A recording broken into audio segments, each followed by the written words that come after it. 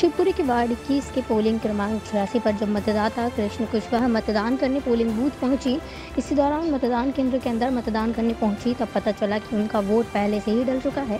मायूस होकर मतदान केंद्र के बाहर जब मतदाता आया तो उसने फर्जी मतदान होने के आरोप लगाते हुए हंगामा किया।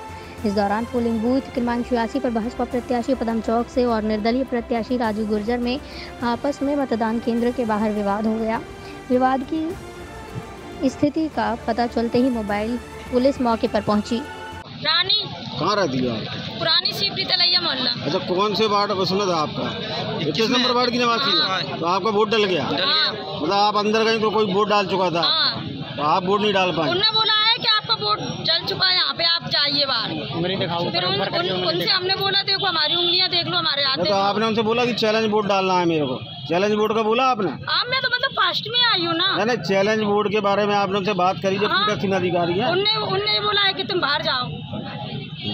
कृष्णा कुशवाहा। तो आपका बोर्ड था यहाँ पे? हाँ। तो आपका बोर्ड डल गया? हाँ डल गया लेकिन मैंने नहीं डाला ही नहीं। अच्छा डाला ही देंगे हाँ मेरा तो उंगली के निशान दिखाओ। कौन सा वार्ड क्रमांक? इक्कीस। देखो। मैं अं- मेरा भी लो जरा। मैं अंदर गया था तो मैंने अंदर अधिकारियों से बात की तो उन्होंने बोला ये वोट निरस्त कर दिया गया डाला नहीं गया है। फिर जब लिस्ट देखी गई तो लिस्ट में ओके किया हुआ है वोट डाला गया है। जब इसको ले गए तो वो कर रहे हैं अब नहीं डाला जाएगा। गलती से ये वोट डल गया है। गलती क्या होती है? गलती दस वोट डल चुकी गलती से। गलती से दस बीस वोट डल चुके हैं। हो रही है बच्चे का पहला वोट है इतना एक्साइटेड एक्साइटेड होकर गया था और वहाँ पहले ही डल चुका है उसका वोट गलत है ये।